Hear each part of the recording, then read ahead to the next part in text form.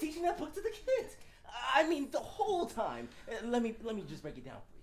The whole time you're rooting for this Hemingway guy to survive the war and to be with the woman he loves, Catherine. It's four o'clock in the morning, Pat. And he escapes to Switzerland with Catherine. But now, Catherine's pregnant. Isn't that wonderful? Uh, she's pregnant. And they go up into the mountains and they're, they're gonna be happy and they're gonna be drinking wine and they dance.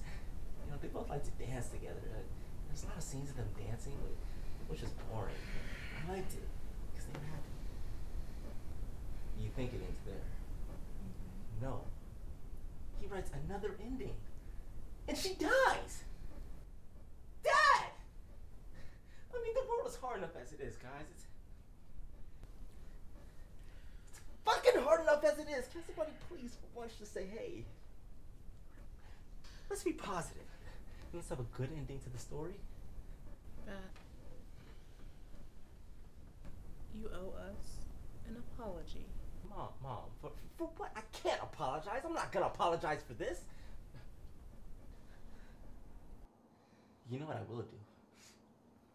I will apologize on behalf of Ernest Hemingway.